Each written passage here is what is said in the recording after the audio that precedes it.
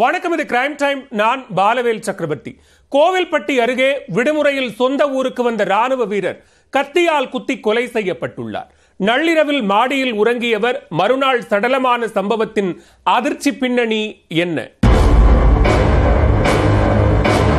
தூத்துக்குடி மாவட்டம் கோவில்பட்டி அருகே வெம்பூர் கிராமத்தைச் சேர்ந்தவர் வேல்முருகன். இவர் கடந்த இரண்டாயிரத்தி பதினெட்டாம் ஆண்டு இந்திய ராணுவத்தில் சேர்ந்து தற்போது ஜம்மு காஷ்மீர் பகுதியில் பணியாற்றி வந்தார். பதினைந்து நாட்களுக்கு முன்பு ராணுவத்திலிருந்து ஒரு மாத விடுப்பில் தனது சொந்த ஊரான வேம்பூர் கிராமத்திற்கு வந்துள்ளார்.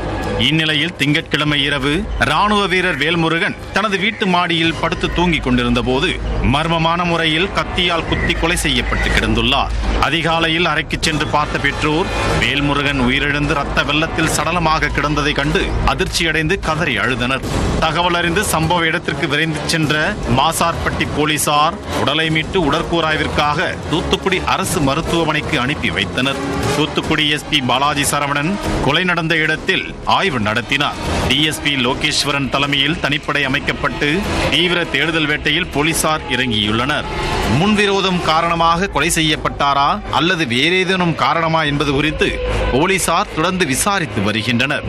ராணுவ வீரர் மர்மமான முறையில் கொலை செய்யப்பட்ட சம்பவத்தால் அப்பகுதியில் பெரும் பதற்றம் நிலவி வருகிறது. சட்டம் ஒழுங்கு பாதுகாப்பு காரணமாக வேம்பூர் கிராமம் முழுவதும் ஏராளமான போலீசார் குவிக்கப்பட்டுள்ளனர்.